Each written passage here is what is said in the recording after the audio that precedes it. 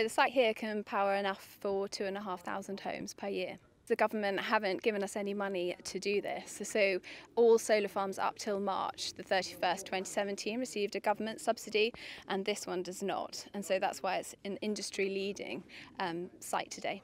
We sat down and we discussed design, the components, the cost, um, and really re-engineered every single component. The panels behind me, when I first started 10 years ago, they would have been 185 watts and these ones are 315. So you can see the power output that you can get for the same footprint. So that's one way that the industry is advancing.